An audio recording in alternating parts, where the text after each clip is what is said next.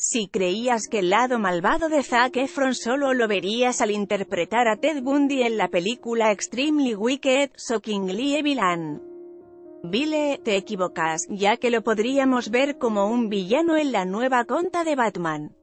Incluso en redes sociales. Ya existen fanarts de cómo se vería Efron en la piel de este personaje. Pero, ¿quién es Red Hood? En la historia de DC, Red Hood es Robin. Sí, el compañero de Batman.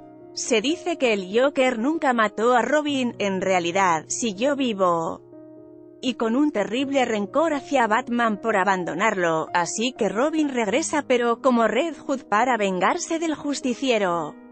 Aunque esto aún es un rumor, muchos fans esperan que Efron interprete a este villano.